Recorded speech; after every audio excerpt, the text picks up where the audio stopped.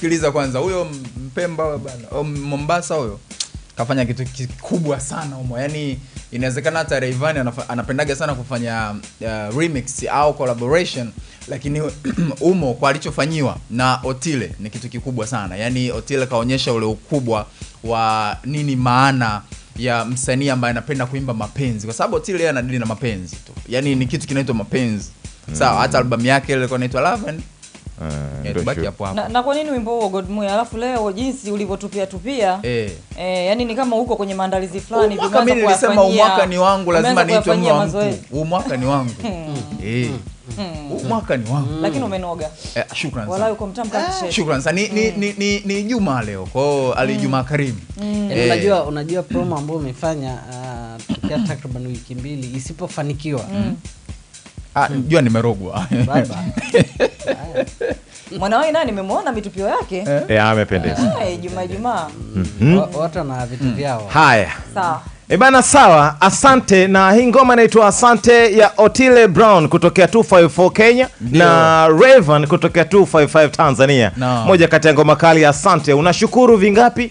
Basi shukuru kile ambacho unahisi uh, unastahili kushukuru, kwa sababu ni lazima useme asante, ili wale ambao wanakufanyia mema waendelee kukufanyia mema, na hata ambao hawakufanyii mema basi wawaze kukufanyia mema, kwa sababu wanajua utashukuru. Producer ni Vicky Pondis, director ni Hansi Kana. Ukitazama video, moja kati ya ngoma kali, masaa kadhaa tokea imetoka mpaka sasa hivi, yani masaa kumi na kitu hivi mpaka sasa hivi, na Eh, nafikiri na, mm, hey, na masaa na nafikiri na wao wanasema asante kwa sababu ngoma hii imeanza kutembea. Asante kwa kutuchagua. Tamati ni saa nne kamili asubuhi ya leo.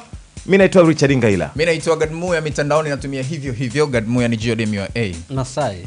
Plus 255 Kilichoandikwa kwenye magazeti Happy. Mafuru. zingatia neno happy Karibu sana. Nalala kuna message niliona hapa kidogo ikanifanya niwe eh. Eh, okay nimelikamata nipashe ni tarehe ishirini na sita leo mm. januari ndio nipashe kwa wino mweusi kabisa lina jinadi linasema matokeo kidato cha nne wavulana wapindua meza mwaka 2023 Mm. isabati bado kikwazo Mm.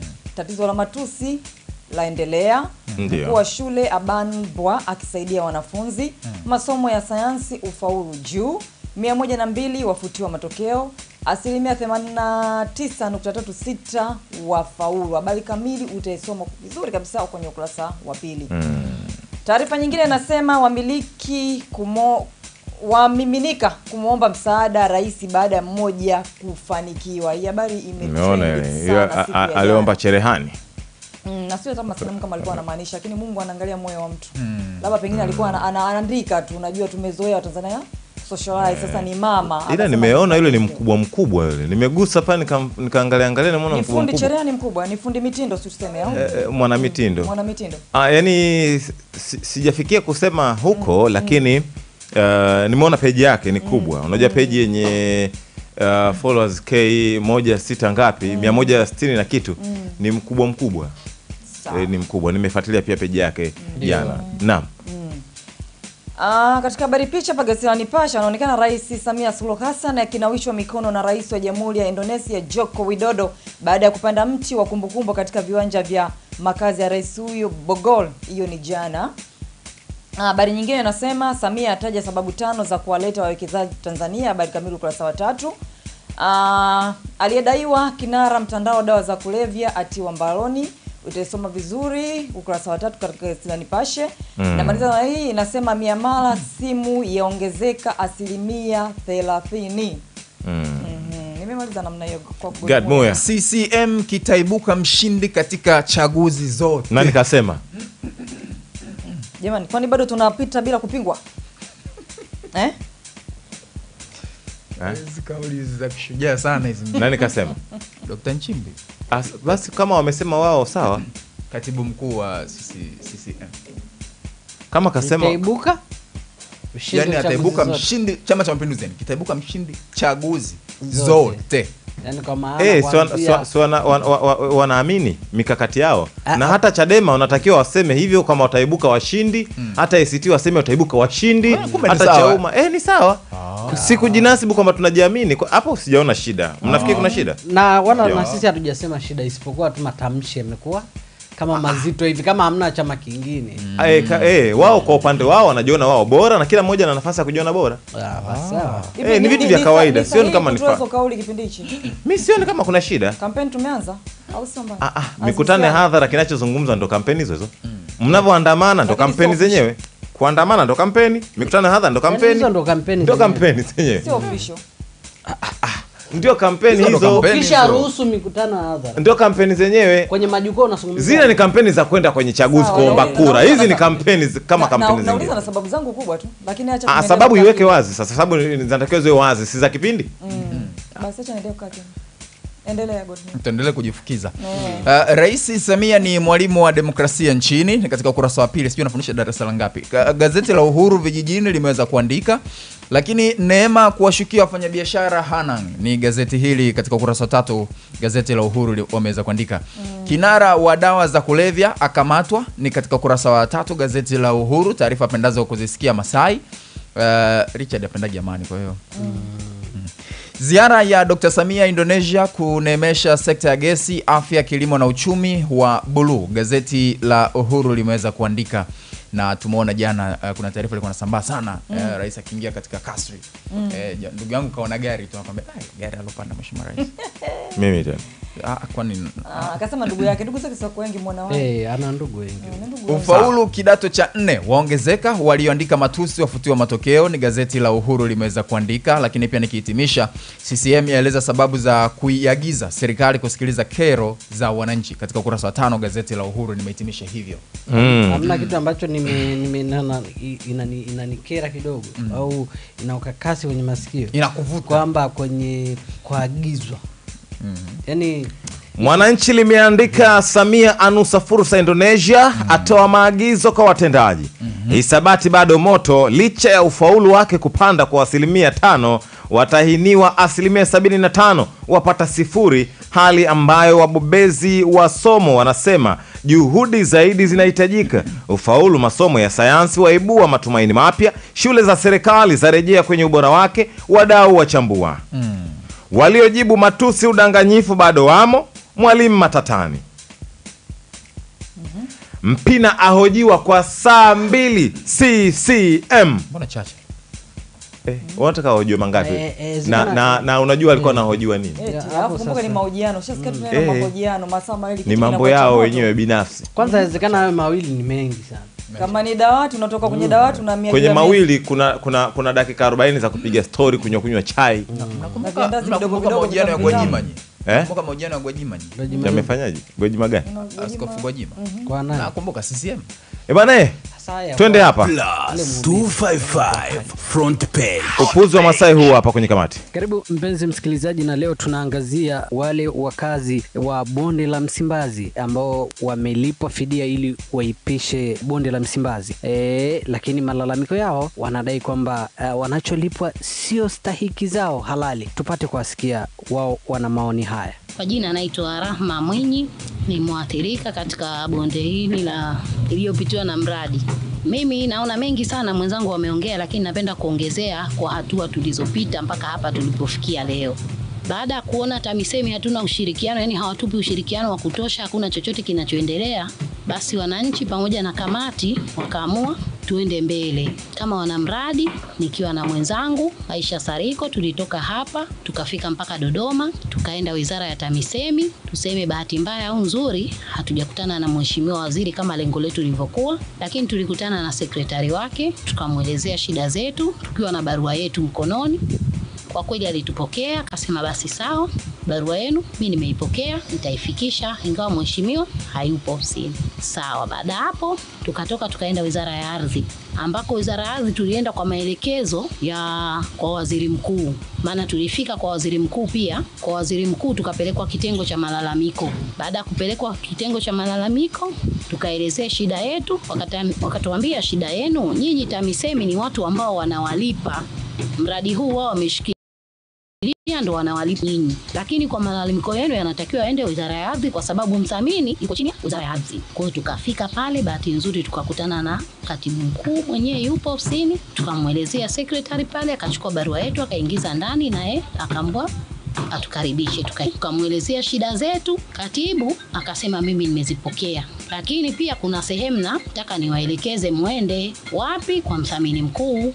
Ikabidi sisi tutoke pale tuende kumwona mthamini mkuu, lakini bahati mbaya au nzuri, mthamini mkuu kumkuta pale tulipofika tu, kwa kweli hakutupokea vizuri alianza kutupokea kwa maneno kwamba jamani, mmewaona watu wa Msimbazi hao ndo wanaoandamana sijui nini. Ah, Tukamwambia bwana, hebu kwanza tusikilize basi. Kwanza sisi tulioandamana sio sisi, ingawa ni wananchi ambao wako kwenye eneo lile la mradi, lakini kila mmoja na uelewa wake kwamba wao baada ya kuona huku mambo hayaendi sawa, wakachukua hatua ile ya kuandamana.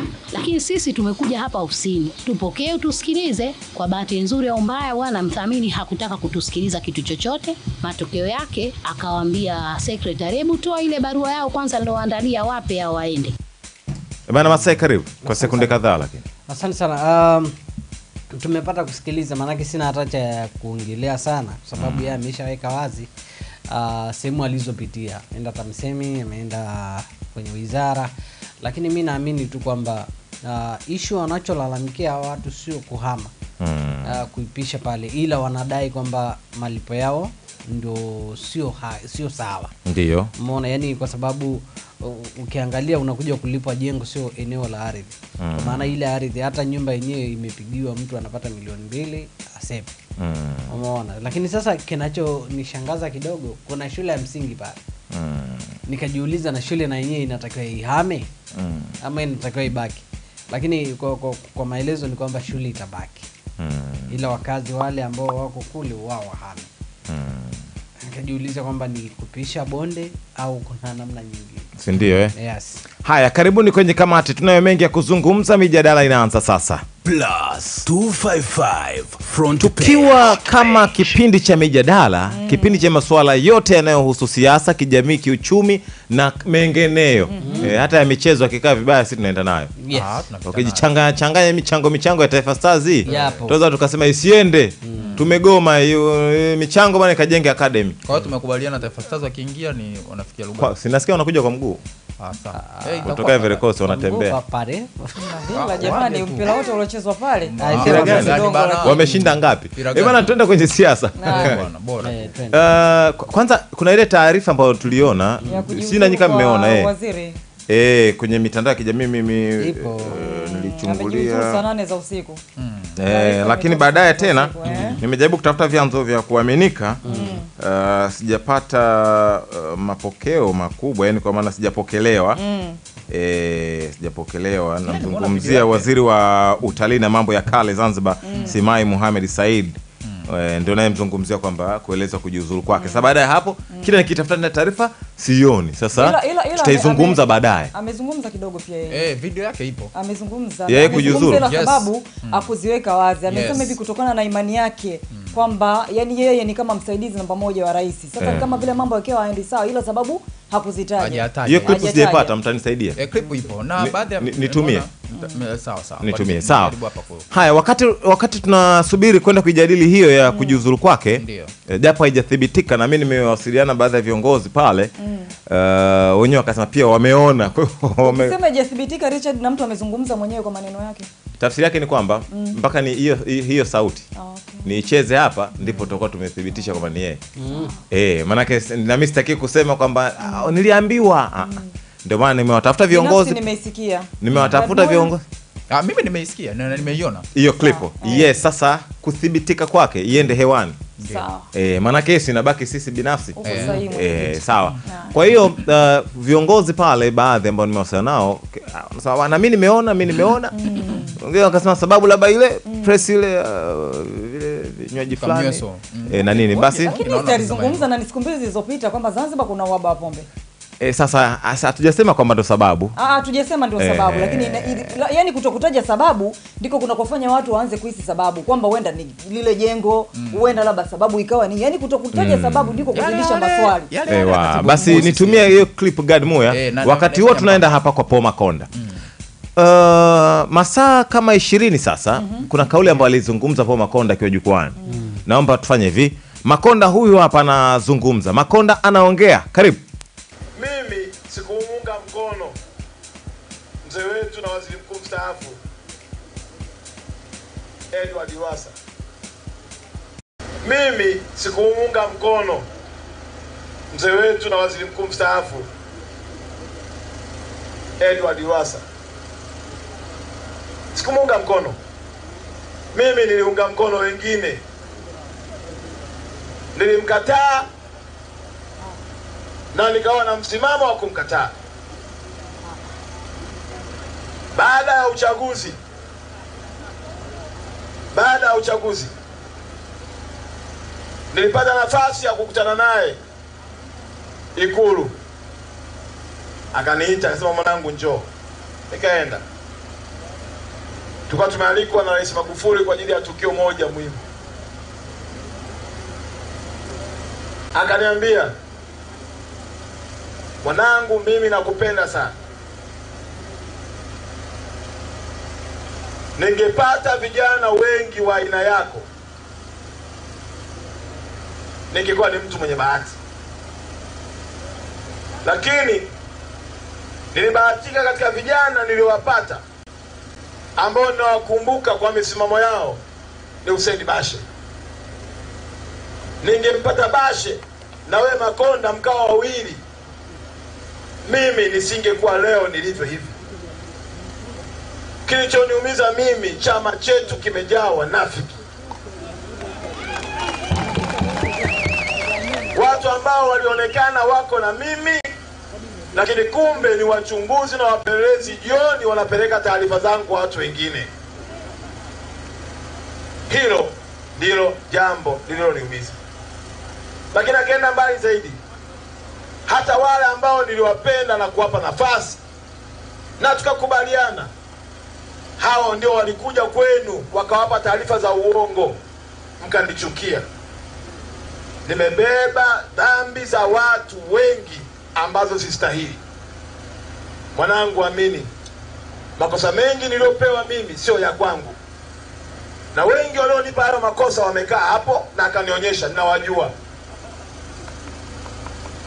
akaniambia hata wewe wakati unanikataa ulikuwa na haki ya kunikataa kwa sababu waliokuambia walikuwa kwenye nafasi ya kuaminika. Hao hapo wamekaa, na hata tukisalimiana nao ni kama vile tunapendana, lakini kiukweli ni watu wabaya sana. Maneno hayo yalibadilisha mtazamo wangu wa siasa.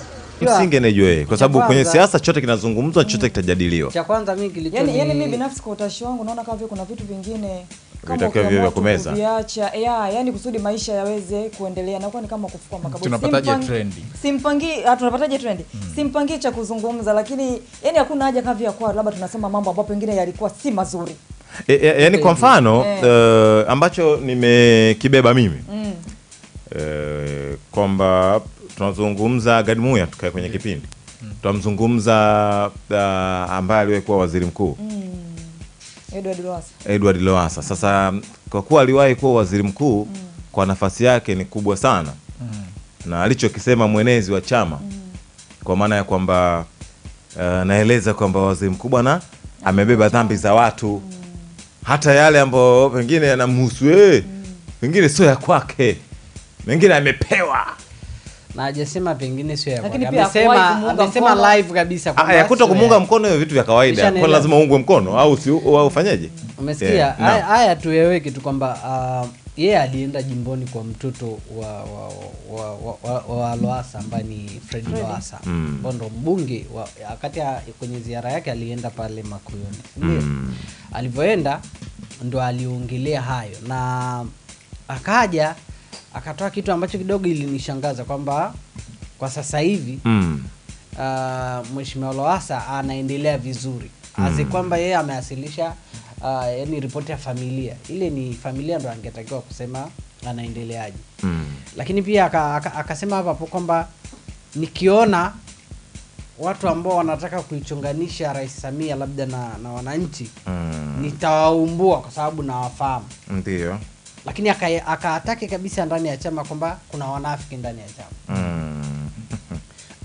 sasa nikajiuliza kwamba kwa hisia hiyo kaka? Eh, kwamba kwa- kwa- nini imekuwa ni kwamba sasa ni kuatakiana badala hata yeye mwenyewe amerudi tena kwa kuwataki watu walioko ndani ya chama. Kwa sababu ningeona kwamba yeye lengo ilikuwa ni kwenda kutatua kero za wananchi sio kuadisia mapungufu ya watu mm. kwa hiyo unachotafsiri ni kwamba pia amekiri ame, ame, ame Yes. ya kwamba CCM kuna shida yes kwamba udhaifu wa ndani ya CCM sasa yeye mwenyewe anaenda kuionyesha mm. ilikuwa itakiwa kama kweli aliamua kusimama kwenye kimvuli ya chama ni kuibeba chama bila kutaja mapungufu ya chama yeye airekebishe ile yale mapungufu yasionekane mm. yani kwa wananchi lakini akianza kwa ataki kwamba tuna viongozi ambao wako na ni, ni, ni, ni wanafiki ndani ya chama kwa maana inaonekana sasa anamlenga nani?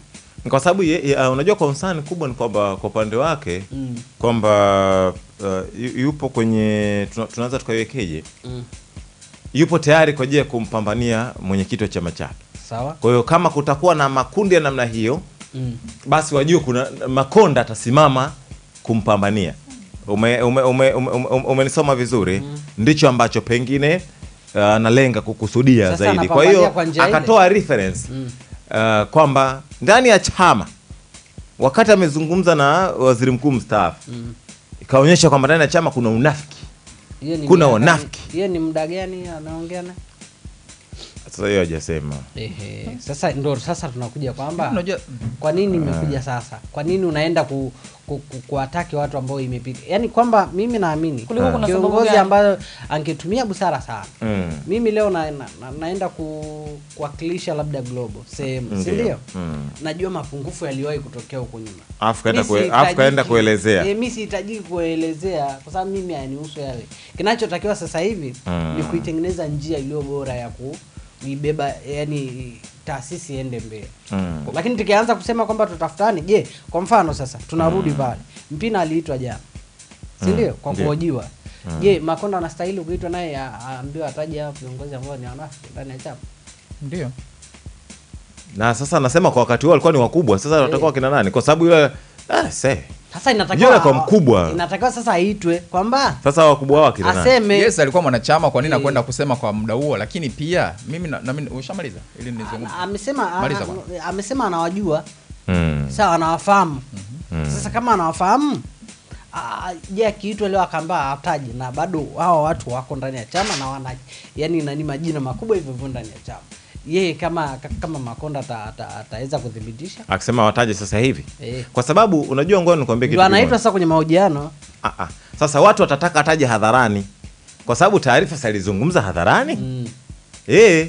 Au jamani vipi? Na yeye pia kufanya sawa kwa sababu muda wote alikuwa wapi mpaka aseme leo? Yeye mwenyewe si alikuwa mwanachama kona shaka kuondoka kwenye chama cha mapinduzi? mimi ngoja niwaambie kitu ndugu zangu kwa nini asingesema? ngoja niwaambie kitu ndugu zangu yaani kwenye, kwenye siasa kila yani kila ajenda inaweza kuwa mada kwenye siasa. Ndio. Kila jambo ambalo unaliona la, la hovyo la maana yani kwenye siasa hakuna jambo la hovyo hakuna jambo la maana. Yote yanaweza kuwa ajenda kwa hiyo kama yote yanaweza kuwa ajenda yote yana haki na sababu za kujadiliwa. Na kuna mambo mengine kwenye siasa yanajadiliwa kutokana na rejimu husika. Wakati wa, wa, wa, wa, wa hayati uh, baba wa taifa. Kuna mambo mlikuwa mnazungumza kuna mambo hawakuzungumza. Wakati wa mzee mwinyi kadhalika wakati wa mkapa kadhalika. Wakati wa kikwete kadhalika. Wakati wa magufuli kadhalika. Na wakati wa rais samia kadhalika. Kuna mambo mtayazungumza mtajiachia wakati kipindi fulani mlikuwa mfanye hivyo. Kuna wakati fulani kuna mambo mlikuwa mnayafanya wakati huu mambo hamu- kwa sababu ya mabadiliko ya tawala zina determine mnapita wapi mnazungumza nini? Umeelewa vizuri? Kwa hiyo kwa msingi huo kuna uwezekano kuna utawala utafika watu watazungumza maswala ya kipindi cha baba wa taifa ambayo yanaonekana hayakuwa sawa. Pengine inaonekana ndo utawala ambao unaogopwa zaidi kwa sababu unalindwa na unakingiwa kifua zaidi si ndio? Lakini pamoja na mazuri yote ambayo yamefanyika huwezi kupata huwezi kukosa hata moja ambalo pengine halikuwa sawa. Ndio. Huo ni uhalisia umenifahamu vizuri? Kwa hiyo kwenye siasa lolote litazungumzwa hata lile la nchi wakati inaanza mwaka wa kwanza. Baada ya muungano yani mwaka wa kwanza mnaanza kuita jamhuri. Si ndio?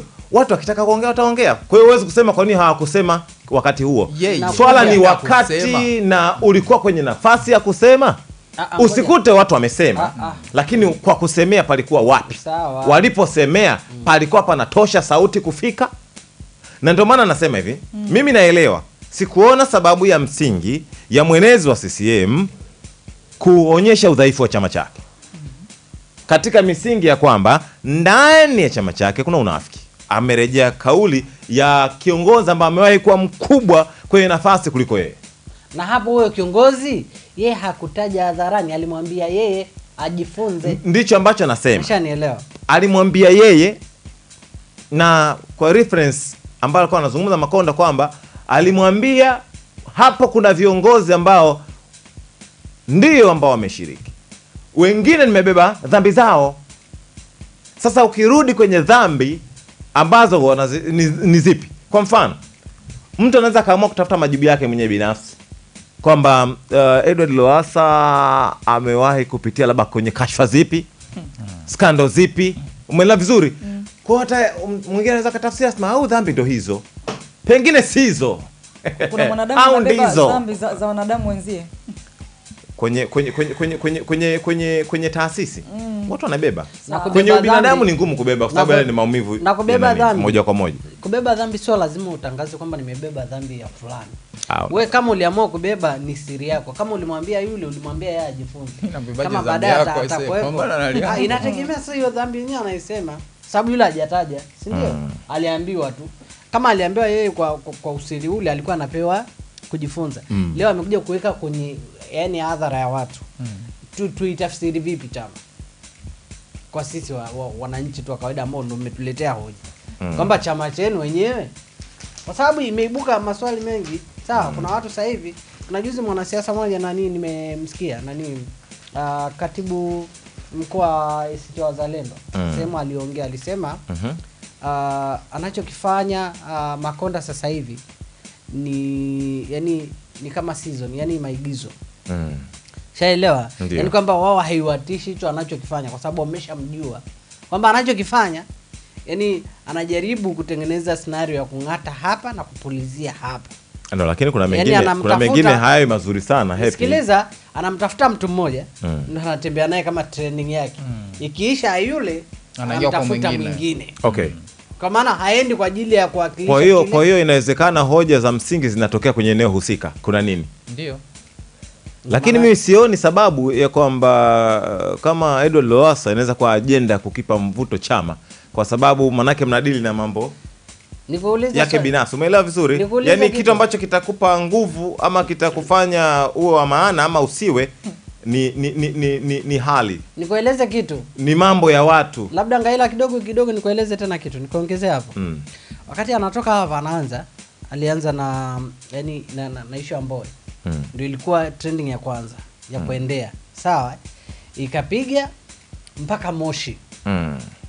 ikaenda ikafia pale ya mboe ikawekwa kidogo kwa sababu ilikuja eh, ishu ya kampeni ndo ilianzia hapa bagamoyo kwenda wapi ishu ya maandamano Mm. akaenda akaimalizia pale moshi kwa maana ya mboe sasa Mm. ilivyoisha ya mboe akaenda arusha alivyoenda arusha ndo akaibua ya loasa ambao ndo training yake imeenda nayo Mm. nayo kwamba kishafika Singida ime ah, ah, hapo hapo ni, ni, ni pale makuini ndo ameanzia akaibua ya loasa Mm. si ndio Ndio. alivyoenda akaenda akaenda mpaka ah, pale manyara wapi ndo kuelekea singida ndo ikaibuka ya nani Mm. kwanza ikaibuka ya hiyo hiyo aloasa loasa lakini ndani yake kulikuwepo na ndani ya chama pia si ndio eh? yakahamishia ndani ya chama kwa maana inavyoonekana mm.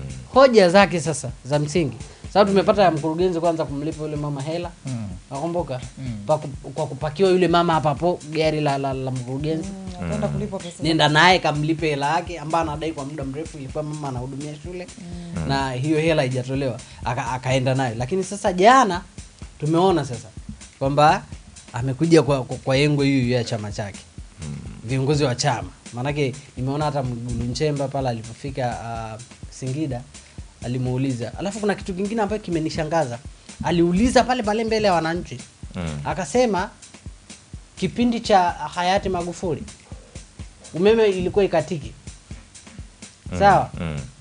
yeye alikuwa anapata wapi hiyo umeme? Ah, kajiuliza kiongozi anaweza akauliza hivyo vitu na kati yeye mwenyewe yuko ndani ya chama. Nini akuuliza viongozi wa chama? Sawa. Mm na, na, na, naona macho yako uh, si haba. Eh. Mm, na dokta amesha Eh, baadaye tutazungumza na dokta pia hapa uh, kuhusiana na masuala hayo. Ya red eyes. eh, twende hapa bwana. Hilo tumesha nikisema kila nikisema Richard apendi amani. Mpina ahojiwa kwa saa mbili ccm saa mbili wanamhoji mpina luhaga Saa mbunge wa zamani wa, kise, wa sasa wa kisesa pia. kiti- kiti cha moto. Eh, we bwana kwanza habari za saa hizi salama. Hem tufanye wendo mpina. Bwana basi wewe haya ndo mimi mpina. haya twende ehe Ah, kaka tuje haya, tuje kwako mwache. gadimwe anaomba utengue hiyo kauli. Eh mwacha haya Ya. twende kwa- ya huyu anafanana na mpina. Ah, ni- ah, nimesema huyu ndo anafaa. ah, nimesikia kama anafananamaana anafanana. Ah, ah, ah, nimesema huyu anafaa. Kwa sababu amekaa katikati hapo. Eh. maana tuzungumze. Chakati kwamba ndo mimi naojiwa nahojiwa sasa. Tunachukua muda mwingi Eh, sana. haya dakika moja tu lakini habari za saizi uh, mheshimiwa luhaga johnson mpina. Mm, salama. Jamani huu ni mfano. Mm, mfano. Salama. Tumekuita hapa. Tunataka tuzungumze mawili matatu ya kichama. We bwana umekuwa ukipiga sana misumari piga sana serikali piga sana. Umekuwa ukigusa jua unamkata mtu lakini kisu kinafika mpaka kwenye mfupa. Uone kwamba unatuumiza eh. Mm, ah, sasa ah, kwenye kukata wa msemeno haichagui wa kukata. Ukienda Eh, ukienda tofauti wa mara nyingi tukiona mti umekaa kwenye mpaka ambao sio wake. Mm. Tuikate tu kwa sababu ili Tuweke sawa. Sasa huoni usipojirekebisha kwa sababu unatutia doa sisi tu- serikali, huoni usipojirekebisha kama elfu mbili na ishirini na tano hatuendi na wewe. na hamuoni pia kwamba msipowarekebisha wale itaharibia sehemu? Kwa hiyo unaona sisi tukikutoa huku unajua mm. utaamia upande wa pili kule. Dema wale wanaoandamanaga, hiyo ndo mmesema nini? Mimi nimesimamia msingi basi tunakupa onyo usirudie. kwa mtu atakayekaa vibaya mbali yani kukiuka sheria na kanuni za kinchi. Nitamani uniulize sasa nitamani wewe uniulize. Yeah. useme sasa ndugu kiongozi wa chama nasemaga ya uongo? Mm. niulize swali. kufanya nini? Kuwatumikia Ah, ah, sasa ni mbunge wao au nirudie kuzungumza. Basi taarifa iko hivi. Yes kamati ya usalama na maadili ya chama cha mapinduzi ccm wilaya ya meatu mkoani simiu imetumia saa mbili kumhoji mbunge wa kisesa ccm luhaga mpina. Waziri huyo wa zamani wa mifugo na uvuvi alifika mbele ya kamati hiyo jana katika ofisi za ccm wilayani humo kujibu tuhuma mbalimbali zinazomkabili ikiwemo kutofanya mikutano ya kusikiliza kero za wananchi na kuzitafutia ufumbuzi Ah, habari nitakiwa ni ingekuwa j- leo ndo ningevaa suti kama jana. Ndio faa ya mambo ya nanii mpina aliyekuwa amevalia shati la kijani suruali nyeusi na mkononi ameshika mkoba. Alifika katika ofisi hizo saa saba na kupokewa na mwenyekiti wa halmashauri ya meatu anton filipo. Aliingia katika kikao hicho kuangazia ku, kuanzia saa saba mchana na kumalizika saa tisa alasiri. Kisha kikao kilibadilika kutoka kamati ya usalama na maadili na kuwa kikao cha siasa cha wilaya ambavyo vyote viliongozwa na mwenyekiti wa CCM wilaya hiyo Abdila Haji. Mara baada ya kumalizika kikao hicho saa kumi na dakika tano jioni, gazeti hili lilimtafuta Mpina kutaka kujua kilichojiri, ambapo ha- hakuwa tayari kueleza nini kilimfanya akaitwa na kilichotokea na Namnukuu, sasa ndugu yangu, si huyo aliyesema Mpina akaitwa, basi yeye si ndio akwambie nini kimetokea? Mwisho wa kunukuu. Alipoulizwa nini kimeamuliwa kwenye kikao, Mpina alisema na nukuu, sina maoni yoyote katika hilo. Hivi kama kungekuwa kuna jambo ambalo linakuelezeka bwana ameenda pale, ameenda kupongezwa Mpina, mm. angesema walikuwa ananipongeza bwana, sababu lakini uh, wameita wamezungumza. Kwa labda ni baina- yake yeye na chama. Ni mambo ya ndani. Ah, kama ni mambo ya kutuambia tungeambiwa. Tunataka kujua. Kama Kama- kila kitu. ambayo sio ya kuambiwa, huwa ni asiri. Kwa, kwa maana kwamba na mambo ya asiri siri huwa pia yana namna fulani hivi, mm. mengine ya kutaa yapo nyuma ya pazia zaidi. Ndio. Eh. Yaani mimi na Godmuya tukikaa tuka tukanong'onezana, maanake hatutaki msikie. mm. Sasa bahati nzuri mkipata picha ya kutuona pale, mm. mnaweza mkapata taswira wanachonong'onezana mm. ni aina tu fulani ya ipi, mm. ambayo haina maana mm. au kuna jambo fulani ambalo linaweza yani kama sintofahamu. Sasa kwenye sintofahamu pale kuna maswali mengine mengi ya kujiuliza. mm. E, mi nimejaribu kumtafuta sana mm. uh, leo kwa njia ya simu lakini kwa habari Mbunge wa Kisesa? eh, kabisa kushika simu. lakini sasa Na ujumbe nimemtumia pia mahojiano hajafikia mwisho Eh, kwa hiyo haiwezekani kutoa majibu nusu nusu. majibu nusu nusu. Haya basi sawa, twende hapa kwenye kamati, tutaendelea kumtafuta Luhaga Mpina na tutapata taarifa zaidi. Plus 255 front page. Front page. Eh bwana, ile kausha shingo kausha damu na nyewe mlisikia kwa Makonda ile alizungumza sana Watu mpaka wanapigwa na wake zao kwa kisa mikopo ya, ya, ya, ya kausha damu. mm. na waziri wa fedha pia naye pia alizungumza pale na chochote na hiyo mikopo. eh, sasa mi nataka twende hapa uh, tuwazungumze hawa uh, tumzungumze waziri Aweso kuhusiana na swala la maji Eh, amezungumza kuna hoja hapa na mimi nilikotoka bahati nzuri kwa kuna maji ya akiba mm. akiba kumradhi, lakini maji kwa kidogo shida zile namba ambazo tunaambiwa kwamba hizi za huduma kwa wateja, tukipiga zile namba zinaita ndugu yangu. Mm. Haya, waziri Aweso huyu hapa, naomba tumsikilize na kumtazama. namba namba za watoa huduma kwa wateja. Namba yenu watoa huduma kwa wateja ni namba gani? sifuri mia nane. Naomba Gibson kwapi wapi? Piga hiyo namba, piga haraka wewe. Wewe usi- usije ukanichezea kabisa kwenye kazi, unanisikia? Eh.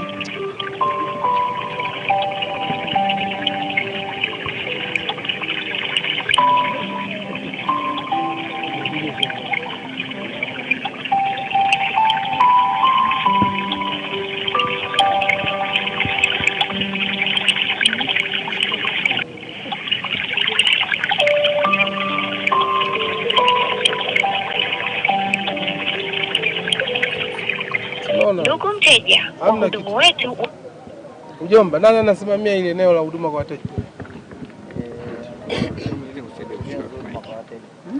Si Unaona hivi sasa, hapa mi nipo hapa, waziri, tumepiga simu. Ume, umejifunza nini? Ah, ah, umejifunza nini? Njoo useme.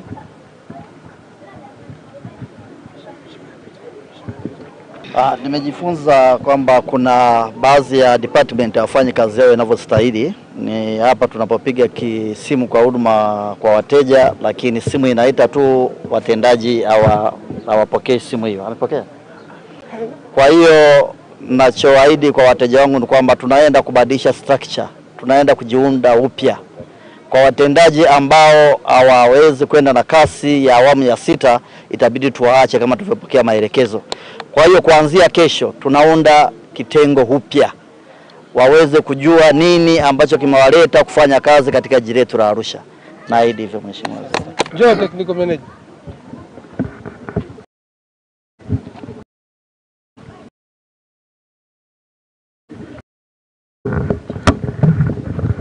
ambao tunaendelea nao Nataka nijue una idadi watu wangapi wameomba kuunganishiwa maji.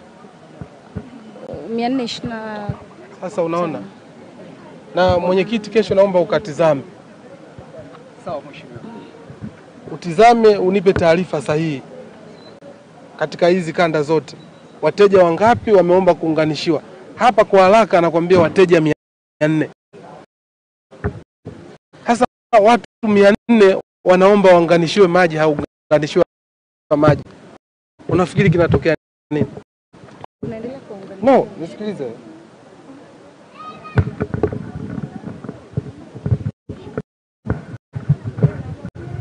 Mtu anapoomba kuunganishiwa maji anatakiwa afanyeje? Ndani ya siku saba. Ndani ya siku ngapi? Sasa hawa hawa mia nne na unataka mi kesho niingie kwenye ofisi zenu katizame? Kwa nini hutaki?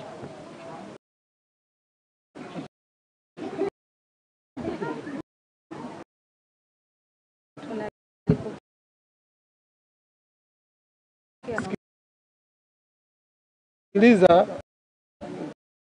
na, narudia mwenyekiti wa bodi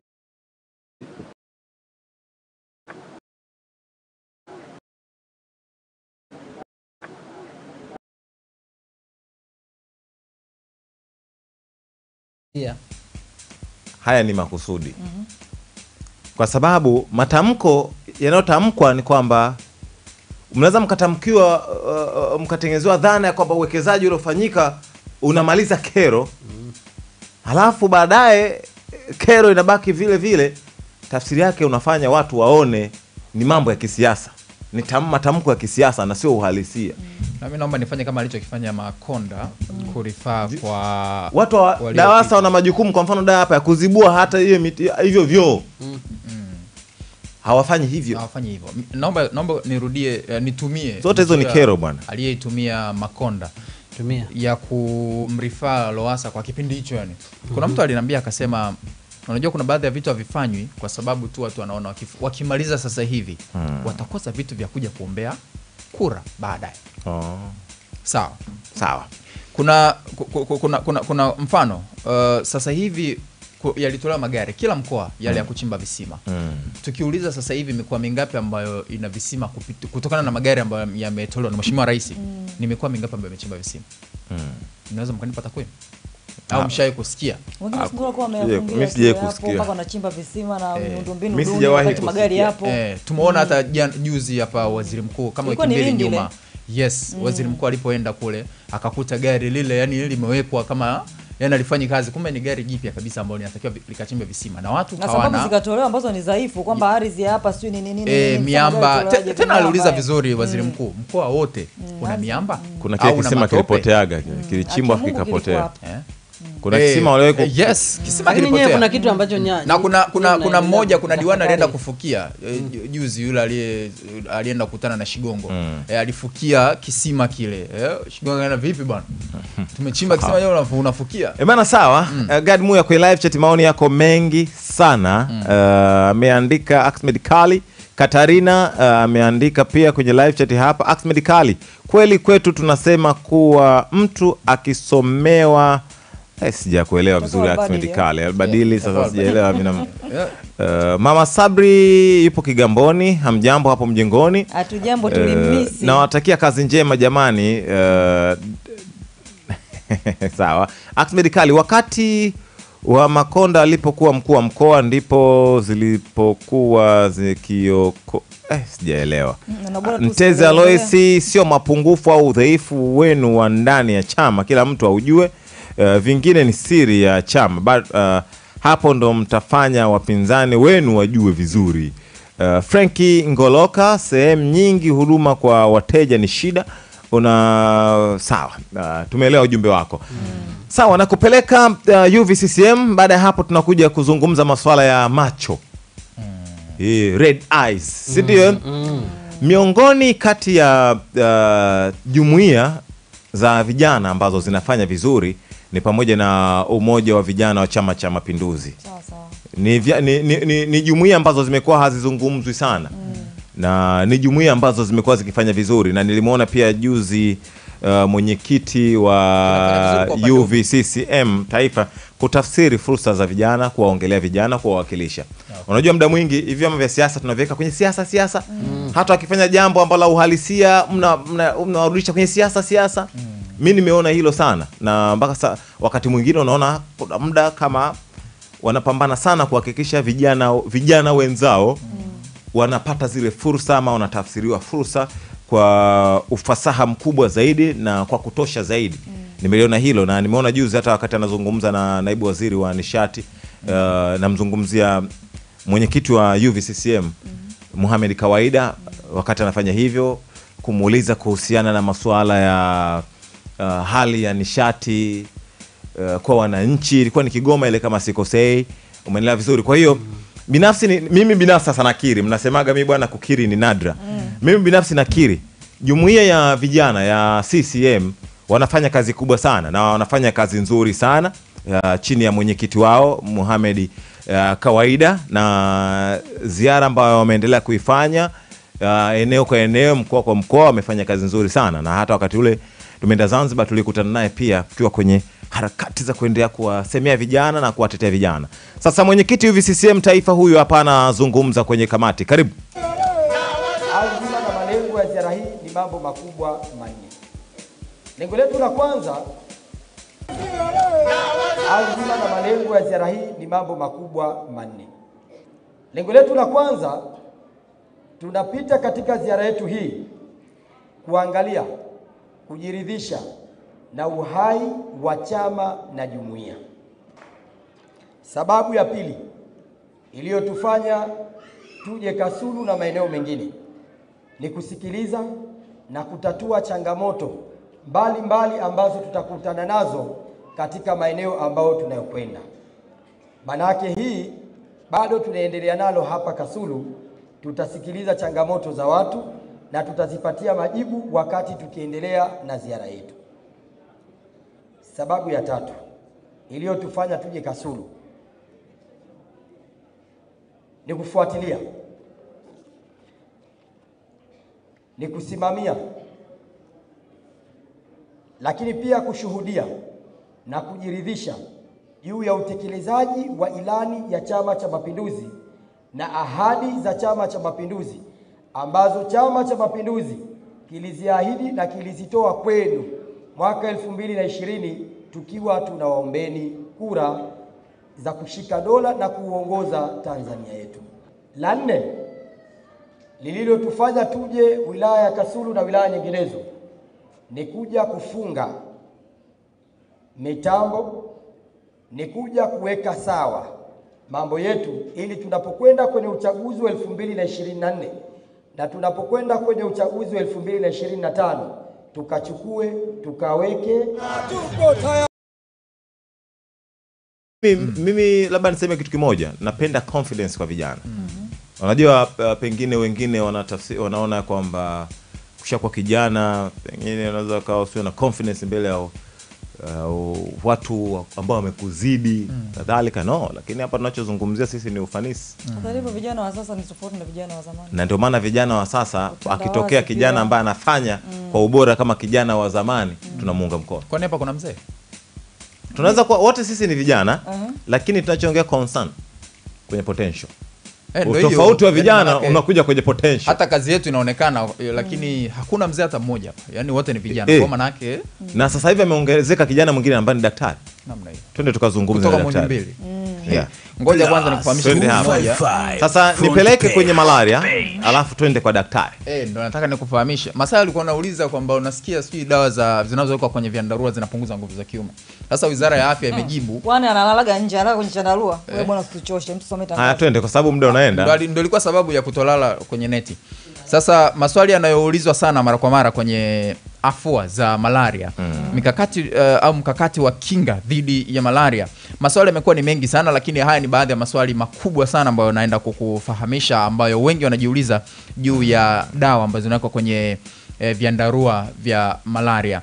Chandarua chenye dawa kinatakiwa kifuliwe mara ngapi? Swali la kwanza. Ili kulinda uimara wa chandarua na uwezo wa dawa iliyopo ndani ya chandarua Mm. inashauriwa kwa wastani kifuliwe walau mara moja kwa wiki eh, ndani ya ndani ya miezi miwili. Ala. Eh, ndio walau mara moja tu ndani ya miezi miwili. mm -hmm. Lakini swali la pili, chandarua chenye, uh, chenye dawa kinadumu kwa muda gani au kwa muda wa miaka mingapi?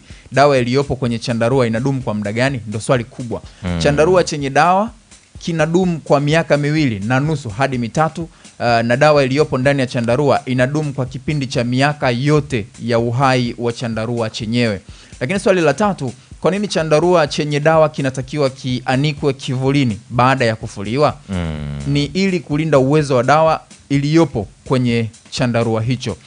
Mm. Lakini swali jingine uh, kuna mmoja aliuliza akasema, tunaambiwa vyandarua vina dawa, lakini mbona tunaona mbu wanatua kwenye vyandarua na wala hawafi? Swali muhimu sana. Sasa dawa inayowekwa kwenye vyandarua ni kwa ajili ya kuua mbu aina ya Anopheles waenezao malaria na sio mbu aina nyingine yeyote ila Anopheles peke Hivi yao. Anopheles hawatui kwani nanyesha? Wanatua pia na wenyewe. Si ni mbu pia? Wale wanakufa sasa. na wamelengwa. Uh, kwa nini dawa za ngao hazipo tena sokoni? kwa nini zisirudishwe ili tukinunua vyandarua visivyo na dawa tuweke wenyewe? Dawa za ngao kwa sasa hilo ndo jibu sasa. Dawa uh, za ngao kwa sasa hazipo tena sokoni kwani vyandarua vilivyopo vinawekwa dawa moja kwa moja kutoka kiwandani. Serikali imeweka mka, uh, mkazo Mm. kuwa vyandarua vyote viwekwe dawa kutoka kiwandani Sawa. lakini swali jingine je natambuaje kuwa chandarua kina dawa na ninatofautishaje chandarua chenye dawa na ambacho hakina dawa ni vigumu sana kutofautisha vyandarua vyenye dawa na visivyo na dawa kwa kuangalia hata hivyo vyandarua vyote ambavyo kwa sasa vinapatikana kutoka katika program za serikali kama Dio. vile kampeni clinic na shule vyote ni vya uh, vina dawa swali la mwisho vyandarua vyenye dawa vinapunguza nguvu za kiume swali la masai. Mm. jibu ni sio kweli. Dawa iliyopo kwenye chandarua ni kwa ajili ya kuua mbu aina ya Anopheles waenezao malaria. Sawa. Na si vinginevyo. eh? Eh, zero malaria inaanza na mimi. Ndio. Naanza na mimi pia. Namna hiyo. Daktari karibu sana. Ika- karibu isogelee hiyo. Asante sana. Eh, hapo nakusikia vyema. Karibu kwa kujitambulisha. Kwa sisi ambao tunakufahamu tunayo faida ya kukufahamu kwa ambao hawakufahamu wakusikie sasa Okay, asante sana. Ndio. Ah, Kwa majina naitwa Dr. Jovin Sagale. Naam. Ni daktari toka chuo cha Mwimbili. ndio Yeah. karibu tu, tuzungumze kuhusiana na mwimbili kwa sekunde kadhaa kabla tujaenda kwenye swala la ugonjwa wa macho karibu Ah, Okay, asante. Ah, Muhimbili ni ina sehemu mbili. Mm. Kuna upande wa chuo, kuna upande wa hospitali pia. Mm. Ya, na upande wa chuo ni chuo ambacho kinahusika na kutrain au kufundisha madaktari au um, wataalamu wa- mbalimbali wa kada ya afya. Mm. Madaktari, wauguzi, wataalamu wa maabara, wa radiolojia. Ah, na upande wa hospitali kinahusika na utoaji wa huduma Mm. kwa watu wote ambao ni wagonjwa Mm. e, ina vitengo mbalimbali kuna kitengo cha dharura wamama watoto. Sawa sawa. Namna hiyo. Tuzungumze huu ugonjwa ambao pengine uh, umechukua nafasi kubwa sana kwenye vichwa vya watu. Ndio. Eh, unazungumzwa sana na hata usipozungumza utaona. Kweli e, mfano halisi tunaona. Mm, bwana kwema? Mm. Tumepuliza- kitu. Eh, bwana red eyes ni nini? Ugonjwa wa macho ni nini? Okay um, red eyes uh, kama inavyofahamika na watu wengi Eh. Ni ugonjwa wa maambukizi no. kwenye ngozi ya juu ya gololi la jicho okay. e, kawaida jicho linakuwa limefunikwa na ngozi fulani nyembamba sana Mm. e, inakuwa inazunguka kile kiini cha jicho Mm. ndio eneo ambalo lina weupe wa jicho Mm. hasa mtu anapopata maambukizi au mashambulizi yoyote yale Mm. eneo hili lina tabia ya kuchachamaa Okay. kuchachamaa ile mishipa ambayo huwa inapeleka damu eneo ile Mm. inatanuka damu inapita kwa wingi inavimba Mm. wakati mwingine inakuwa inaambatana na kutoka machozi au tongotongo kwa wingi Mm. ndio inayojulikana kwa mara kwa lugha nyingi huku mtaani kama red eye au watu wengine wanaita pink eye Mm. wengine wanaita Nairobi eye yote hayo ni majina yake Mm. yeah. okay ugonjwa huu unaambukizweje ama mtu anaupataje ugonjwa huu okay, kuna njia kuu mbili Mm. za maambukizi ya ugonjwa huu. Inaweza ikaambukizwa moja kwa moja Mm. kwa moja kwa moja nikimaanisha kwamba toka kwa mtu Mm. kwenda kwa mtu mm-hmm. Eh, inaweza kawa kuna mtu ambaye ana maambukizi ya ugonjwa huu ndio macho yake yanakuwa yana matongotongo Mm. ambayo tongotongo hiyo inakuwa imeathirika mm. yani na contain vimelea okay. vya wadudu hawa Mm. kwa kipindi anajipangusa wakiwa anafuta macho kwa bahati mbaya na nyie mkasalimiana mkashikana mkono wadudu wanakuwa wametoka kwake kwenda kwako moja kwa moja. Hiyo njia tunaita direct transmission au maambukizi ya moja kwa moja. sitaki kumpata tano jamaa wangu pale. Eh, ya, kwa mtu ambaye ameambukizwa uruhusiwi kupunguza kwa mfano kwa, mfano, kwa mfano nikigusana naye Mm. napaswa kufanya nini ili nisiathirike? Okay. Um, njia ambayo imethibitishwa kufanya kazi kwa kiwango kikubwa ni kunawa mikono na maji ya sabuni. Okay. e, kwa angalau sekunde ishirini mpaka dakika mbili ukinawa mikono mikono inakuwa safi lakini pia vitakasa mikono vinaweza vikatumika mm -hmm. lakini kwa bahati mbaya sana sio kila vitakasa mikono kinaweza kuua hiki kirusi kinasababisha red eye. Mm. ni vile ambavyo vina contain kitu tunaita chlorine Mm. au haya maji maji kama ya kwenye jiki haya. Ndio. Ndio ambayo yamethibitishwa kwamba yanaweza yakaua hawa virusi wa red eye. Yeah. kuna uwezekano wa mtu anaweza akafanya labda nisipate kabisa. Maanake sasa tunaona kwamba maambukizi yamekuwa yanaenea kwa kasi tena mimi naona zaidi kwa watoto wetu Yes. watoto wanapotoka shule wanapokuja nyumbani wanakuwa wanaletea wazazi pengine nini kinaweza kikafanyika ili kuweza kuepukana na hiyo hali Okay.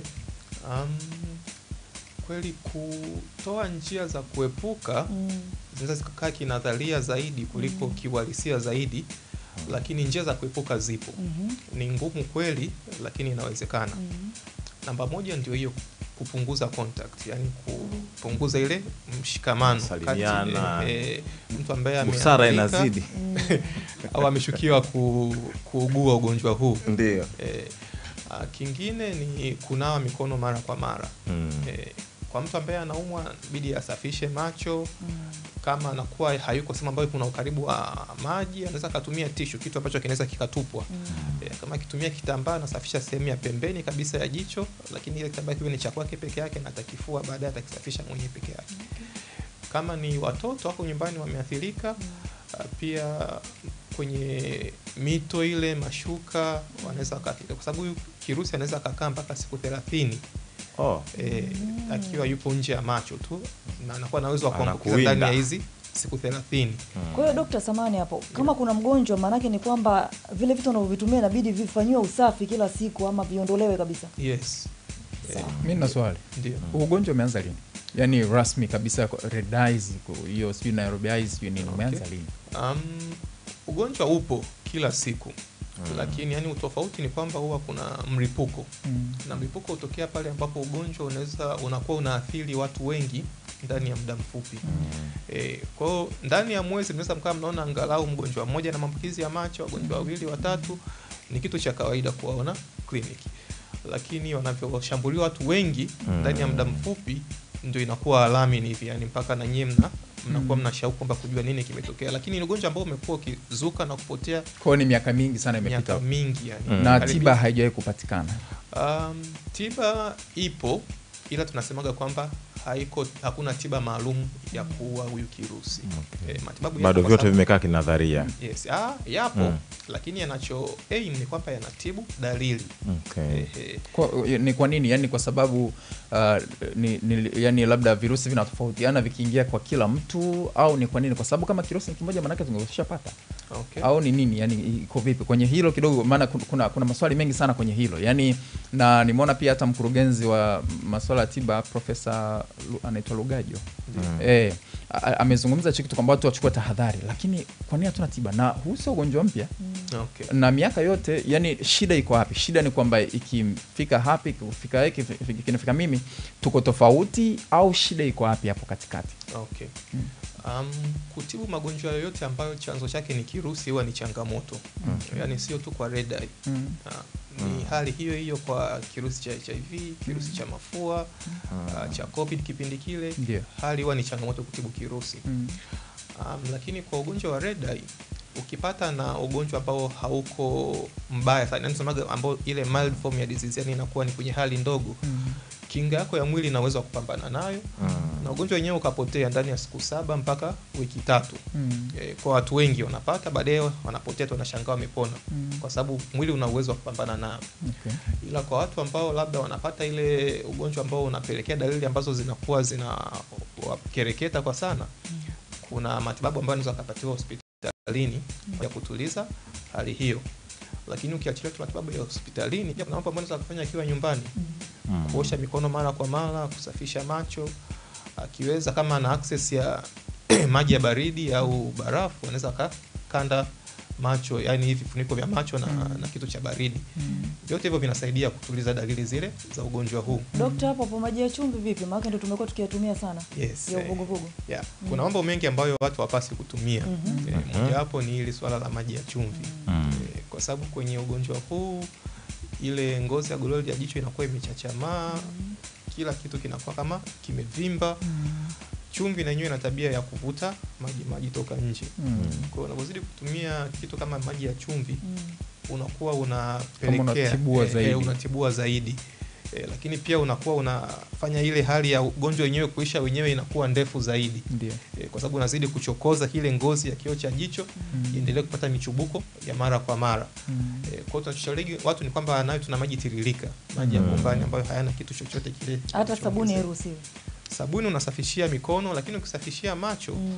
utashawishika pia kuanza kusugua Mm. kusugua macho Mm. na lengo ni kati ile na nili contact kati ya mikono yako na macho yako. Mtu, akiambukizika Ndio. anaweza kadumu na ugonjwa huo kwa muda gani Uh, kama hana tatizo lolote lingine lile mm. wiki mbili mpaka tatu anakuwa mm. shapata unafuu na Eh, na moja na, na, na ma, madhara yake uh, mtu akipata ugonjwa wa red eyes mbali na kuwa labda pengine macho kumsumbua na kadhalika inaweza ikapelekea madhara mengine labda pengine makubwa zaidi hata upofu Naomba naomba niongeze hapo dokta, ukijibu utajibu yote. ndio Hivi sasa ndo, ndo unaanza kusikia sikia zile dalili. Je, ninaweza nikawahi? Okay Mhm. ngoja nianze na sehemu la kwanza la swali mm -hmm. kwamba dalili zikiwa mwanzo mwanzo unaweza ukawahi mm -hmm. kwa dalili zikiwa zinaanza ndio unaweza ukawahi um, kwa watu wengi ambao dalili sio kali mno tunashauri tu waende kwenye kituo chote cha afya mm -hmm. e, au kama ni anaweza akapumzika nyumbani anapumzika kwa sababu ni ugonjwa ambao kinga ya mwili unaweza ukauhendo ila kama unakuwa una sintofahamu Mm. tunashauri uende sehemu ambapo kuna wataalamu wa macho na sio kukimbilia pharmacy au sehemu yoyote ile. Waangalie macho yako wakushauri namna ya nini cha kufanya na nini cha kufanya utakuwa sawa. Na kuhusu sehemu ya pili ya swali kuhusu madhara ya ugonjwa huu. Um, madhara huwa yapo lakini sio kwamba yanakumba kila mtu. Yanakumba ni sehemu ndogo ya watu na mara nyingi unakuta kunakuwa kuna changamoto nyingine. Mtu labda akatumia dawa ambazo hakupaswa kuzitumia Mm. ameshachokoza macho na madhara yanakuwa kwenye tunasema kwamba yanakuwa na vipengele karibia vikuu vitatu. Mm. yanaweza yakaathiri vifuniko vya macho yani yakatengeneza kovu kwenye vifuniko sehemu ya ndani ya vifuniko vya macho hii ngozi ambayo inafunika macho. Sahihi. Ah, lakini pia anaweza akatengeneza utandu fulani kwenye macho. Ule utandu nanyewe una madhara kwa sababu utapelekea kile kifuniko cha macho kugusana na jicho. Lakini pia kuna madhara ambayo yanaweza akatokea kwenye kioo cha jicho yanatengeneza vitu kama ukungu ukungu unakuwa wa, wa duara hiyo mm. itaathiri uwezo wa kuona kwa kipindi cha muda fulani e, lakini huwa yatokei kwa watu wote ni kwa baadhi ya watu mm. yeah. sawa uh, Mm, kuna mm, lolote nimuulize ni- watu wengi ambao wamepatwa na huu ugonjwa tunaona wakiwa wanatembea kwa barabarani wakiwa wana- wana miwani tayari jicho limeshaathirika halina uwezo wa kuona vizuri alafu mtu anakwenda anafika labda anaongeza tu Mm. pengine na, na miwani yaani hili unalizungumziaje? Pengine hakuna chochote pengine naweza kutokea baada ya hapo.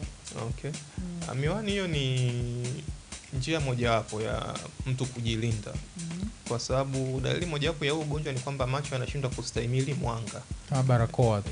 E, kwa watu wengi mno ndani wakishapata ugonjwa utaanza kuambia mwanga anakuwa anaogopa. Hata tv hataki kuangalia simu hataki kudili nayo. Mm-hmm. eneo lenye mwanga kama hili anashindwa kustahimili. Kwa njia mojawapo ya kujilinda ni kuvaa miwani ya, ya kuzuia mwanga. Mm. huwa haina shida yoyote. Cha muhimu tu ni kwamba miwani iwe ya kwake peke yake mm. azingatie usafi wa ile miwani na mikono yake ili isije kawa kama chanzo cha kuambukiza wengine. Kwa hiyo wenye damu group O wanaweza katoboa kwenye hili. Ah, vina mahusiano of course. Kuna mahusiano labda ya uh, kinga za watu kupelekea kuwa rahisi kupata au ngumu kupata alafu nikueleze kuna watu wengine unaanza mpaka unaisha usikii mtu amepata ugonjwa e, kuna wengine wanatamani kuna watu tupate ah, lakini tunaendelea kama kuomba yule mimi yani ukimpata yani hapo ataikisha sana Okay. Eh. Ah, haina uhusiano wa moja kwa moja Okay. eh, yani kikubwa kinachopelekea huu ni mchangamano tu ule wa watu? Eh, kinga ya mtu? Hapana. Unaweza maana maana unakuta kuna wengine wanapata watoto kwa sana kwa sababu watoto wanakuwa maeneo ambayo yana mchangamano kwa sana. Mm. wanacheza lazima washikane wafanye vitu vingine.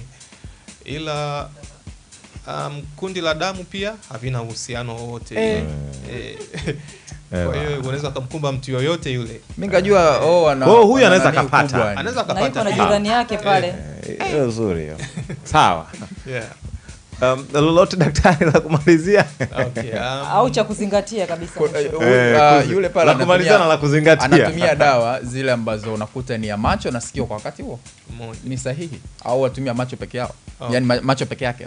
Eh, Sasa nitakavyojibu hilo nitajibu na kuzingatia. Namna hiyo. Eh, kwa hiyo la kwanza kabisa ni kuhusu matumizi ya dawa um, watu inabidi waepuke kununua dawa Mm. pasipo kupewa kibali na daktari au cheti cha dawa kutoka kwa daktari mm. na tunapendelea zaidi cheti hicho kimetoka kwa daktari wa macho mm.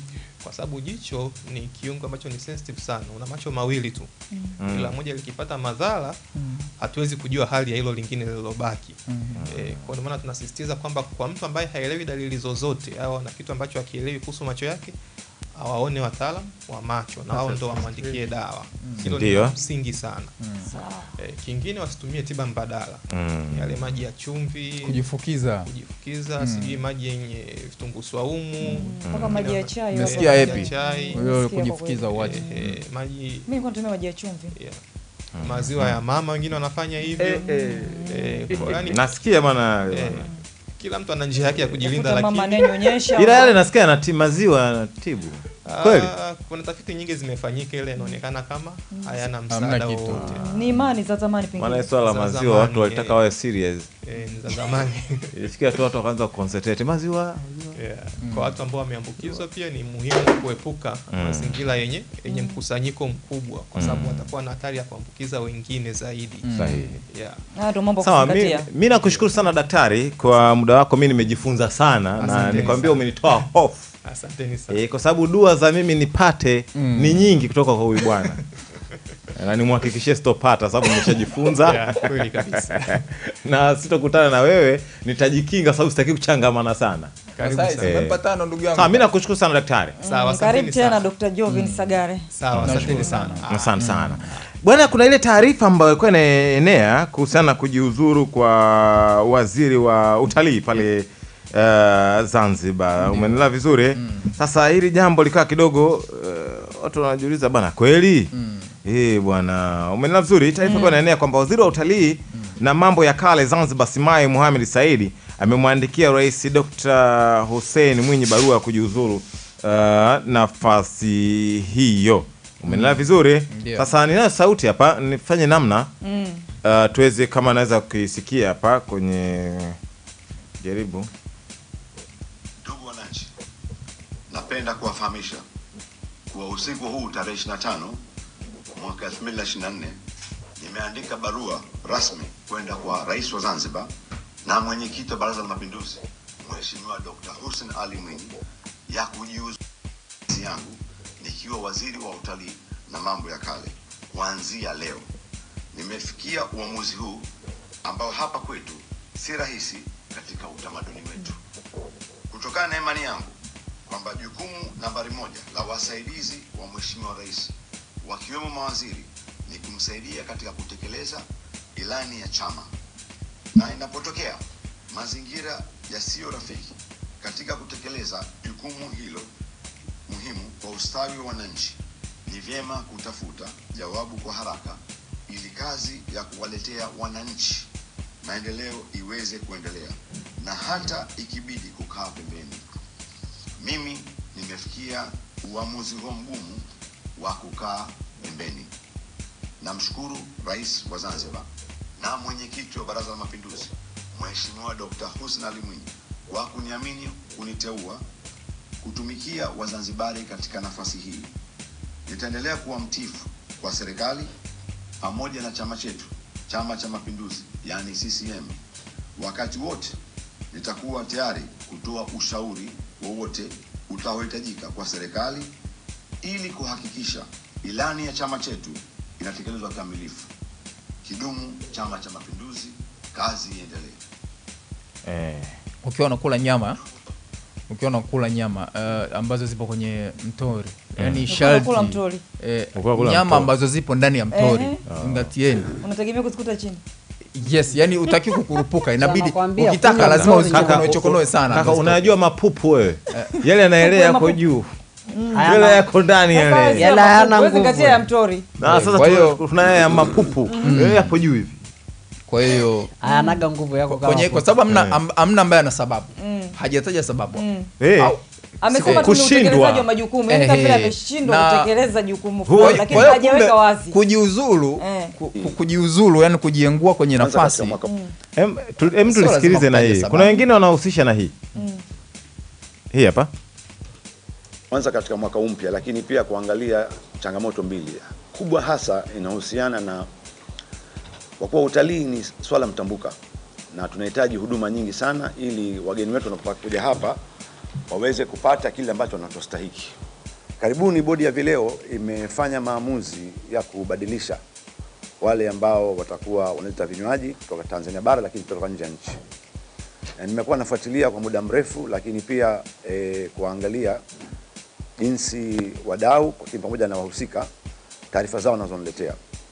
Ah, Cha msingi kweli athari imeanza kuziona katika maeneo yetu ya mjini kaskazini pamoja na mashariki, yani Paje, Wejuu na Jambiani, na inakuwa sio vyema kwamba maamuzi yanapofanywa na taasisi nyingine wakati sisi huku hatukujitayarisha. Sasa nimeanza kuona athari ambazo zimeanza kujitokeza, na kubwa hasa ni katika hoteli zetu nyingi kubwa, ambacho wameanza kukosa huduma ya vinywaji baada ya bodi ya vileo kufanya maamuzi ya kuwaondosha wale ambao walikuwa wanafanya hiyo biashara wanaosupply hivyo vinywaji kwa upande wa Zanzibar. Ah, nimetafuta kumtafuta mwenyekiti wa bodi e, na wiki iliyopita nilijaribu kuongea na waziri, lakini alikuwa kiafya yuko vizuri. Sasa nimeona kabla kwanza kikao hichi umuhimu wake waita wawekezaji na wale ambao wana kutoka jumuiya zao tofauti, niweze kuzungumza nao waweze kunipatia taarifa, lakini pia kupata ushauri, na mimi nikiwa waziri mwenye dhamana hii ya sekta ya utalii niweze kupeleka maelezo hayo serikalini. E, kubwa zaidi kwa kweli ya masikitiko amekuwa ni makubwa, na imenibidi sasa niitishe kikao kwa sababu tayari nimeanza kunyoshua mkono na vidole na wadau. Sasa mimi nikiwa ni baba wa watoto wangu hawa mahoteli, e, mikahawa e, lazima niwaite nionane nao. Kwa lengo langu leo kubwa hapa ni kuweza kuwasikia, lakini pia kupata ushauri na niseme tu kwamba sekta ya utalii e, si vyema ikachezwa chezewa, kwa sababu ukinyoshea mkono kidogo, athari zake ni mnyororo ni mkubwa sana. Huko nyuma tumejifunza katika matokeo tofauti, na mara nyingi mimi niko waziri mwenye dhamana, huwa nazungumza na waziri wenzangu ili kuweza kuangalia juhudi za kuwekwa sawa.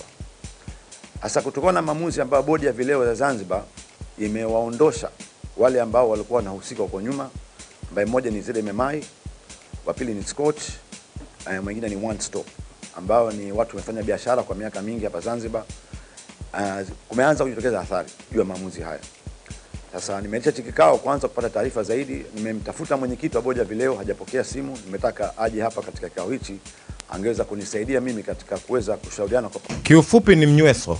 mm. Qatar, kombe la amesema ndo dunia. sababu Eh, ame, ku, kuanza kunyoshewa vidole Eh. inaanza kuathiri sekta yake maana maanake pia eh, Richard, unajua kuto kutaja sababu ndiko kuna kuibua maswali na kufanya pengine ndo iwe nini? Ndio Sio lazima, sio lazima. Hakutuambia sababu. Sio lazima. pia kudumuia. Sio lazima. kuna lazima kutaja Ah, sio lazima. Lakini pia sio kiongozi wa kwanza kujiuzuru serikalini. Kwani- Ah, yani sasa. Mbona- mbona achongola ah, wa- Mbona amesahau mmesahau? ah, alivyojiuzuru mkuzungumza Eh, mlizungumza na ndio maana ili tunazungumza Si aliisha? e, sawa ndio maana tunasema Eh, hivi ah, yani kwa mfano kwa sababu za huyu hapa si ndio ambazo hazijawekwa wazi Umesema kwamba kiufupi ni hivi lakini hajasema. Kwa sababu sijamaliza ndio mmenilisha maneno Mm, sababu sababu za huyu mm. waziri mm. hazijatajwa mm. ila watu wana connect dot mm. kwamba mbona siku kadhaa hapa nyuma mm. amezungumza juu ya kwanza kunyooshewa vidole mm. kwa sababu hizo ambazo nimerejea hii clip mm. umeelewa vizuri mm. kwa hiyo kama haya hajatatuliwa inaweza pia akatosha kwa sababu za yeye kushindwa kutekeleza majukumu yake. Hiyo hiyo inaweza ikawa sababu kwa sababu wenzetu wa Tanzania visiwani labda ni wanapenda sana labda yani tuseme ni, ni wanahofu ya Mwenyezi Mungu na yeye ametoja mambo akamnyweshwa. imani. Imani Sio. hawana imani za haya mambo labda kwa sababu ya imani za kidini na nini. Sio hofu ya Mwenyezi Mungu kila mtu ana Ah, hofu. si ndio hivyo yani namaanisha Mwenyezi Mungu hivyo imani za kidini. ila ila ila mimi naomba nimalizie na jambo. Eh. Qatar kombe la dunia lilichezwa marufuku pombe marufuku Ah. mapenzi ya jinsia moja na kombe la dunia lilinoga na likaisha kwa hiyo inawezekana tuendelee kwamba tuende tukakope tuendelee kunywa Kwa kweli bora tu. E bana, nawapeleka EFL sasa hivi. Nisikilizeni kwa umakini kwamba EFL yani Enterprises Finance Limited inatoa huduma mbalimbali za mkopo ikiwemo mkopo wa gari, mkopo wa kuendeleza biashara, mkopo wa tenda, mkopo wa ada ya shule, mkopo wa shule kwa maana ya school financing, mkopo kwa wafanyakazi wa serikali na sekta binafsi. Mkopo huu unatolewa kwa riba nafuu na unatoka ndani ya saa 48 tu. Sasa wanapatikana Dar es Salaam, EFL House Afrika sana Sinza, Arusha mtaa wa Ndovu, Saba Plaza ghorofa ya pili na Dodoma mtaa wa Uhindini. Kwa maelezo zaidi wasiliana nao kupitia simu namba 0677111333 au 0655550083 na unaweza pia kuwatafuta kwenye mitandao ya kijamii kwa kuandika EFL Mkopo. Karibu sana kwa huduma bora na ya haraka zaidi. umenifahamu Plus 255 Eh, tunaenda front page. ndio tunaelekea huko sasa hivi napatamani gadmuya umependeza kama unaishi masked eh, ma, uh, ni panaitwa ma, ma, Muscat. ah. kasifiwa. Sawa na kupeleka uende ukaagize simu na vifaa vya kielektroniki mbalimbali ambavyo unavihitaji. Sawa eh? Najua umehangaika sana kupata bidhaa bora na za kisasa used na mpya. Sasa shamir Smart Electronics hawa ni wauzaji wa used smartphone kama Google Pixel, Sony, Samsung, LG pamoja na iPhone na pia wanauza smartwatch zenye kutumia sim card na ambazo hazitumii. Bei ni kuanzia shilingi elfu ishirini na tano pekee. Kuna accessories za sim, mfano gimbo kwa ajili ya kuchukulia video na picture. Kuna wireless microphone na earphone pia zipo pale. Kuna LCD panel kwa ajili ya watoto kujifunzia kuandika na kuchora kwa bei ya shilingi elfu ishirini na tano pekee. Kuna cover na glass protector za aina mbalimbali za simu ambazo unataka wewe kwa shilingi elfu tano pekee. Wanapatikana Kariakoo, mtaa wa Uhuru na Msimbazi, jengo la Infinix. Unaweza ukawapigia kwa namba 0717037603 na Instagram unaweza ukawatafuta kwa jina la Shamiriki underscore smart electronics, Facebook Shamiriki Kaunda na website ya www.shamiriki.com na unaweza pia kudownload application ya Shamiriki Smart app ili uweze kuwa miongoni mwa wale ambao watanufaika na hichi ambacho mimi nimekujuza kwenye kamati sasa hivi. sawa lakini nina salamu zenu hapa kutoka kwa bishop newton godwin mwango mwango anasema anatufuatilia vizuri kabisa na anapenda tunavyofanya kazi yetu. Waveja sana. Mm, shukrani Eh, sana. ndio kubwa hiyo. Dua nyingi. Asante, asante kwa kutuchagua. Endelea kutusikiliza na kututazama. Nenda kwenye kurasa zetu za mitandao yote, endelea kupata taarifa kule. Mimi naitwa Richard Ngaila, mjukuu wa chief. Sheikh Godmuya. Masai. Mm. maana kila siku anabadilisha vitu kwamba mahali jamani. Mi naitwa hepi mafuru. Crossdongo inafata kipindi bora cha michezo kinakuja mwingi. Happy. Eh, alikuwa anaitwa Happy, sasa hivi hapi alikuwa anaitwa happy. Mm, sasa hivi Happy. Mm, nimepona macho. Kula nyama tu, kula nyama. Sawa, asante sana kwa mwanawahi Mpate, asante sana kwa Irene na asante kwa wote ambao mmeshirikiana na sisi. Asante kwa wote ambao mmeacha maoni kwenye live chat na asante sana kwa daktari kwa kutupatia elimu. Na urudia wimbo wa Otile Brown na Rayvanny, asante. Tunakushukuru kwa kuwa na sisi, tukutane Jumatatu kwenye, kwenye, kwenye front page nyingine na Cross inafata. Kwa heri. Mkuu wa chuo cha Kilimanjaro Institute of Technology and Management kilichopo Mwenge, Dar es Salaam na chenye thibati na usajili wa NACTVET namba regi mkwaju ane mkwaju 029 anapenda kuwatangazia ofa maalum wahitimu wote wa kidato cha 4 2023 kwa kozi mbalimbali mbali za kompyuta zikiwemo computer application, ICT for beginners, PC maintenance, video production, graphics and design pamoja na CCTV camera. Kozi hizi zitaanza tarehe 11 mwezi wa 12 2023 kwa awamu ya kwanza na tarehe 8 mwezi wa kwanza 2024 kwa awamu ya pili. Pia mhula mpya wa masomo kwa kozi za IT, business, hotel management na front office utaanza tarehe 18 Januari 2024. Kwa maelezo zaidi tupigie 0717816034 na 0766348652. KITM, elimu na ujuzi ni msingi imara.